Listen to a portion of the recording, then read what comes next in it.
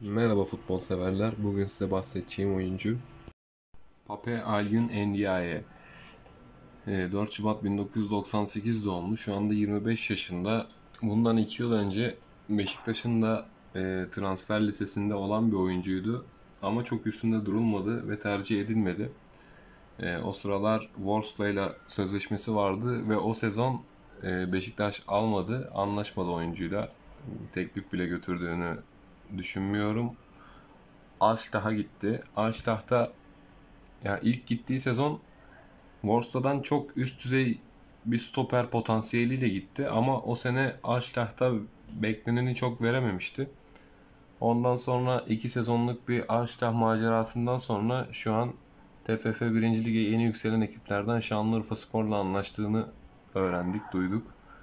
Şimdi oyuncunun özelliklerine gelecek olursak oyuncu Senegalli ama Fransa milli takımını tercih etmiş durumda. Ama iki milli takımda da bir maçı yok. Yani şu anda yarın kafasına etse Senegal'de de oynayabilir eğer ki kadroya davet edilirse. Tabi bu biraz zor. Biraz uçuk bir hayal gibi kalıyor.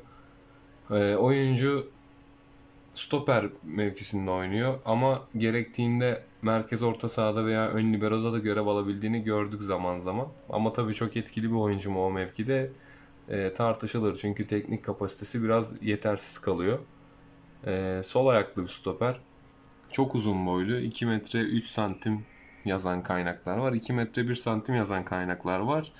E, Beşiktaş'ın ilgilendiği sene 2019 yılında, 2020 yılında ben 2 metre 1 santim olarak biliyordum. Ama tabii daha 98 doğumlu o senelerde 21-22 yaşında yani 1-2 santim atmış olması, uzamış olması imkansız değil. Belki de 1-2 santim uzamıştır. 2 metre 3 santim olarak gözüküyor şu anda. Çünkü transfer marketten baktığımız zaman. Ee, şimdi teknik özelliklerine gelecek olursak e, NDI'nin NDI'ye tam bir hava topu canavarı. Zaten boyundan da anlaşılacağı üzere e, hava toplarında çok etkili. iyi sıçrayabilen bir oyuncu ve top kapma konusunda yani top kapmadan ziyade müdahale etme konusunda topa uzun bacaklarının avantajı çok yüksek. Bu avantajı da iyi kullandığını gördük çoğu maçta. Şimdi e, Santrafor mesela topu aldı gidiyor.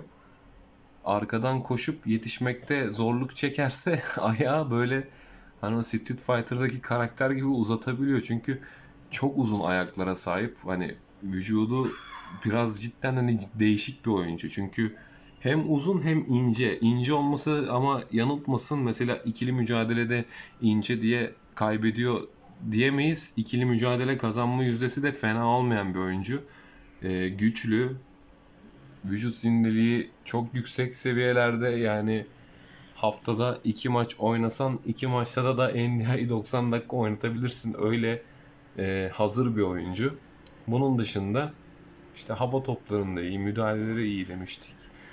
Zayıf olduğu yönlere gelirsek e, teknik kapasitesi başta dediğim gibi kısıtlı. Şimdi bu oyuncu topu kullanma konusunda biraz yeteneksiz kalıyor. Yani ama zaten tek hamle stoperi olarak düşünülmüştür büyük ihtimal. Onun tandeminde bir şeyler düşünüyorlardır yanına Urfa Spor'da.